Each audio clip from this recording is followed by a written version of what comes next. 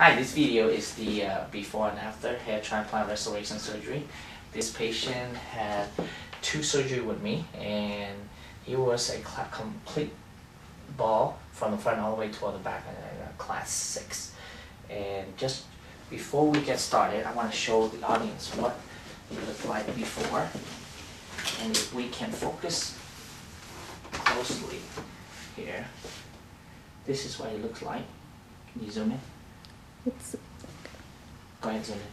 And then right side view, left side view, this view, this view, this one. And you can see the magnitude of how he was. And this is how he is now. And he's a very handsome guy. Um, now his look has completely changed. I want to show the audience what how dense it is. And you can open this and Look at all this, this is full density.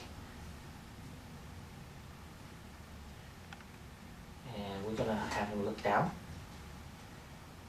And look at this.